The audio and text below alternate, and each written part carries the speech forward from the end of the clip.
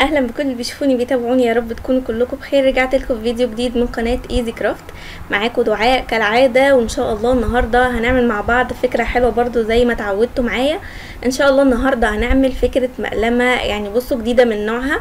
أول مرة هتشوفوها على اليوتيوب هي المقلمة السحرية. زي ما أنتوا قريتوا في عنوان الفيديو هي فعلا سحرية عشان المقلمة دي ينفع نحطها في الشنطة وكمان ينفع إن إحنا نستخدمها كمقلمة للمكتب. يعني مش هنضطر إن إحنا نطلع الأقلام خالص من المقلمة لا زي ما هي موجودة كده في المقلمة نقدر نحطها على المكتب وكمان نقدر نشيلها تاني في الشنطة زي ما هي. يلا بينا نشوف الأدوات ونشوف هنعمل المقلمة إزاي مع بعض. أول حاجة هنحتاج معانا قطعتين قماش متساويتين هنحتاج القطعتين مقاس 15 في 30 سنتي.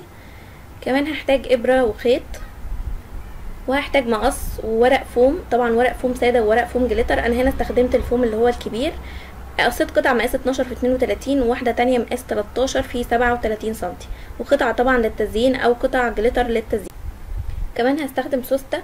أهم حاجة السوستة تكون مرنة يعني سهلة في الفتح والقفل وكمان مسدس شمع ومسطرة للقياس.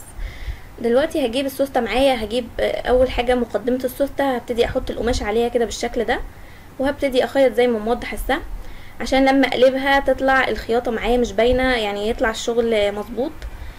هبتدي دلوقتي أخيط. أنا ممكن ألزقها طبعا بالشمع بس ما بنصحكوش بالشمع لأن الشمع بيفك وكده ما بيبقاش كويس مع القماش. هبتدي أخيط كده غرز متقاربة أو غرز صغيرة كده. عشان تبقى أقرب للغرزة بتاعه مكنة الخياطة وتدينا نتيجة أحسن طبعا من يعني الخياطة اللي هي العادية. هبتدي أعمل عقدة في نهاية الخيط كده وهبتدي أقص وهقعد الخيط تاني برضو هعمل له عقدة عشان أبتدي أخيط الجزئية التانية. هجيب دلوقتي قطعة القماش التانية وهحطها برضو على السوستة بالشكل ده بنفس الشكل اللي حطيناه المرة اللي فاتت بحيث برضو لما نيجي نقلب القماش تبقى السوسته باينه معانا من بره. يا رب تكونوا فهمتوا الحتة دي بس ركزوا فيها عشان تعرفوا تعملوها. ببتدي أخيط برضو بنفس الطريقة. أنا قربت لكم أهو وسرعت الخطوات لأن طبعا معروف الخياطة. بعد كده هاجي للأجزاء اللي هي بتاعه بواقي القماش دي. هبتدي إن أنا أخيطها بالشكل اللي موضحه السهم ده كده. يعني هنخيطها من كل الجهات. وبعد كده هنقلبها طبعا بس قبل ما نقلبها هنعمل خطوة كده مهمة. عايزة أقول لكم أصلا إن طريقتها سهلة جدا. أنتوا في الآخر هتقولوا يعني قد إيه إن هي سهلة وفكرتها حلوة جدا. أهو زي ما أنتوا شايفين كده نقدر نقلبها خيطناها من كل الجوانب. هجيب كرتون على شكل دايرة وبعدين هقصها نصين. يعني أنا عايزة نص دايرة من الكرتون. وهبتدي ألزق كده القماش من تحت. يعني هلزق المربعين كده من تحت كمثلثين كده مش عارفة اسمهم إيه اتلخبطت في الكلام. المهم يعني هنلزق كده جوانب المقلمة من تحت وبعدين هبتدي ألزق الدايرة اللي هي هنلزقها دي كده من تحت برضو. طبعا إحنا كل ده لسه ما قلبناش المقلمة. دلوقتي بقى هنقلبها بعد ما ثبتنا النص دايرة من جوه. هبتدي أقلبها كده. طبعا النص دايرة دي مهمة جدا عشان هي دي اللي بتوقف المقلمة أو بتخلي لي المقلمة ثابتة كده يعني كأن ليها ستاند من تحت. دلوقتي هبتدي أطلع الجزئية بتاعه السوستة من بره. والحتتين اللي في المقدمة دول هبتدي ألزقهم برضو لجوه عشان أداريهم يعني يبقى شكلهم أفضل من إن هم ظاهرين كده. بس هلزقهم طبعا بمسدس الشمع يعني مش محتاجة خياطة. وكده القلب أو الجسم بتاع المقلمة الداخلي بقى جاهز معانا. هقص برضو الطرف ده كده ك يعني شكل جمالي. هبتدي ألزق عليه قطعة فوم. وبرضو عشان السوستة متفكش فبالشكل ده كده لزقت عليه مستطيل كده من الفوم. دلوقتي بقى هنبتدي نشتغل على الشكل الخارجي بتاع المقلمة. زي ما قلتلكوا معايا قطعتين فوم بمقاسات مختلفة واحدة صغيرة وواحدة كبيرة. القطعة الكبيرة اللي مقاس 37 في 13 سنتي دي هنلزقها من فوق والقطعة الصغيرة اللي مقاس 12 في 32 دي اللي هنلزقها من تحت أو في القاعدة بتاعة المقلمة. طب يجي السؤال بقى وتقولوا لي ليه عملنا قطعة أكبر من التانية؟ يعني بصوا هتشوفوا دلوقتي. هي مشكلة يعني إن إن فيها تركة كده معينة لازم تعرفوها فانتوا ركزوا كويس في في المرحلة دي وبرضو ركزوا كويس في المقاسات عشان خاطر تعرف يعني تعرفوا تطلعوها بشكل كويس زي ما أنا عاملاها إن شاء الله يعني. ببتدي كده أحط لزق شمع طبعا على قطعة الفوم بتاعتي وبعدين باجي عند نص الدايرة اللي إحنا عاملينها كده أو نص النص بتاع الدايرة الربع بتاع الدايرة أو زي ما أنتم شايفين كده وببتدي إن أنا الزقها يعني في المنتصف بالظبط كده ببتدي ألزق.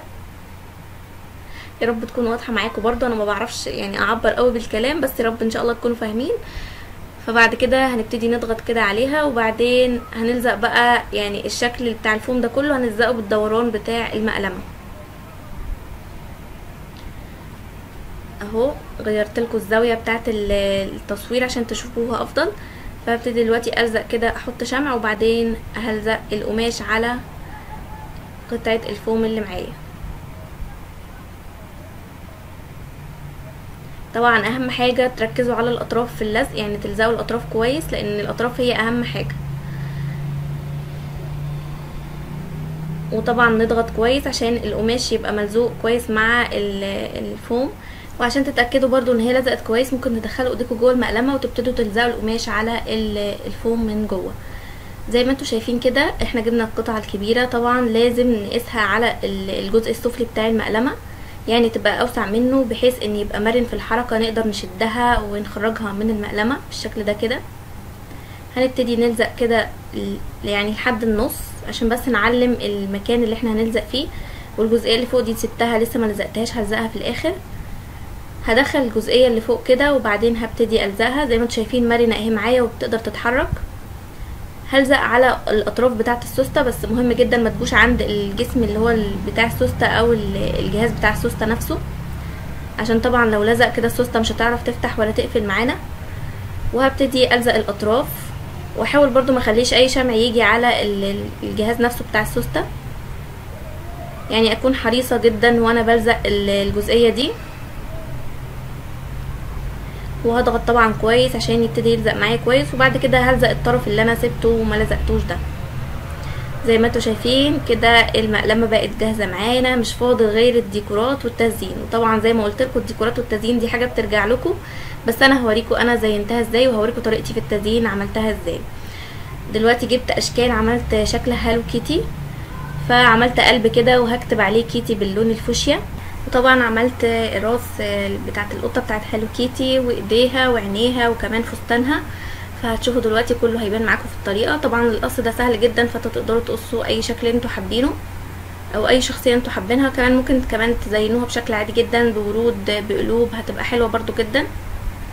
بلزق كده راسها وعينيها والفيونكة وكمان الفستان بقى على الجزء السفلي. أهو. إحنا لزقنا في الجزء العلوي الوش بتاع هالو كيتي وفي الجزء السفلي هنبتدي نلزق الفستان بتاعها. هلزق القلب أهو وبعدين هلزق الإيد بتاعتها. الأشكال على الجنب تقدروا تقلدوها أو تقدروا تعملوا زيها. هجيب المقص المشرشر كده وهعمل زي ديل الفستان بتاع هالو كيتي كمان هعمل رجليها بالشكل ده كده. هجيب بقى شرايط من الفوم البينك اللي معايا أهو بالشكل ده كده. وهقصها برضو بالمقص المشرشر وهبتدي أزين الحواف بتاعه المقلمة بتاعتي. طبعا هلزق من الظهر هبتدي من الظهر. وبعدين همشي على الأطراف كلها اللي معايا. طبعا بتدي منظر حلو جدا وبتظهر الشكل معايا بشكل حلو جدا. عايزه أقول لكم برضو القاعدة لو حابين تلزقوا عليها قطعة فوم من تحت عشان يبقى الشغل أحسن برضو ممكن تلزقوها. بس أنا صراحة نسيت إن أنا ألزق. فهبتدي ألزقها كده بالشكل ده. وأي قطع برضو مش ملزوقه كويس بنبتدي نثبتها كويس. بجد شفتوا فرق في شكلها إزاي؟ هيبقى حلو جدا. عايزة أقول لكم برضو إن إحنا يعني أهو خلصناها بشكل بسيط وسريع. كده المقلمة خلصت معايا أهو. فكرتها حلوة جدا ولأول مرة هتشوفوها بجد يعني حاجة كده سهلة وسريعة وكمان مفيدة جدا وهتعجب الأطفال والكبار كمان. عايزة أقول لكم كمان إن إحنا ممكن نستخدمها ككبار كشنطة make up أو نحط فيها أي حاجة إحنا عايزينها.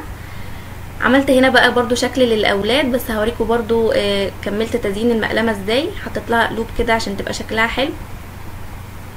وكمان عملت زي خطوط كده في الخطوط بتاعة Hello Kitty أهو الشكل بتاع الأولاد برضو صورته لكم عشان برضو يبقى الإفادة كده كاملة ويبقى تقدروا تعملوا الشكلين. أنا عامله شكل دورايمون للاولاد بيحبوه جدا الكرتون ده. فزي ما أنتوا شايفين قصيت الاشكال بتاعه شخصية دورايمون وبعدين لزقتها كده بكل سهولة.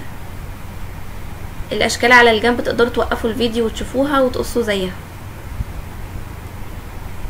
زي ما أنتوا شايفين اهي مقلمة زي الاولانية بالظبط وبرضو زينت الحواف بتاعتها بالشرايط المشرشرة.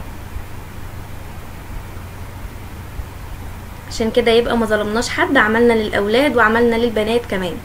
عشان اللي عنده بنات يعمل للبنات واللي عنده أولاد يعمل للأولاد واللي عنده الاتنين يعمل للاتنين برضو بس كده شكل المقلمه معايا. متنسوش بقى like و share للفيديو لو عجبكم وما تنسوش تكتبوا لي comment حلو زيكم كده وإن شاء الله الفيديو يكون عجبكم. آه هعرف طبعا إنه عجبكم لو عملتوا له like. وحابة أقول لكم برضو إن أنتم ممكن تكتبوا عليها اسمكم هتبقى حلوة جدا ومميزة. اكتبوا لي تحت في التعليقات لو عملتوها وكمان ما تنسوش تكتبوا لي هتستخدموها في إيه والفكرة عجبتكم ولا لأ وأشوفكم في أفكار تانية حلوة كتير مع قناة Easy Craft وسلام عليكم. وما تنسوش ال like عشان تعبت جدا في الفيديو ده.